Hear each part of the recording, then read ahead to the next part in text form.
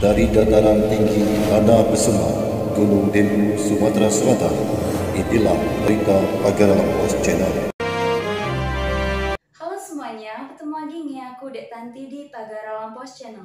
Tim pengawasan kearsipan dari Dinas Perpustakaan dan Kearsipan Kota Pagaralam kembali mengadakan giat pengawasan tata kelola kearsipan.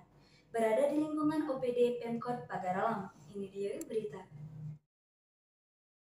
Ini dalam rangka peningkatan tentang tata kelola kearsipan yang telah dilaksanakan oleh OPD di lingkungan pemerintah kota Pagar Alam. Jelas Kepala Dinas Perpustakaan dan Kearsipan Kota Pagar Alam, Saidi Amrullah SSOS, melalui Kabit Kearsipan Tarmizi SE. Tarmizi menyebut, sejauh ini OPD yang telah dikunjungi terdapat lebih kurang 6 OPD di tahun 2022. Namun pada tahun 2021 lalu, pihaknya telah melakukan pengawasan di 16 OPD di lingkungan pemerintah kota Pagar Alam. Kita berharap dengan giat pengawasan ini, ke depan akan mendapatkan perbaikan dalam rangka pelayanan kearsipan.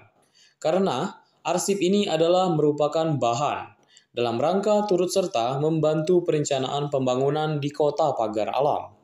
Dengan adanya arsip juga akan menjadi bahan evaluasi bagi kebijakan-kebijakan yang akan diambil pemerintah kota Pagar Alam. Kak Erik, Pagar Alam Post Channel.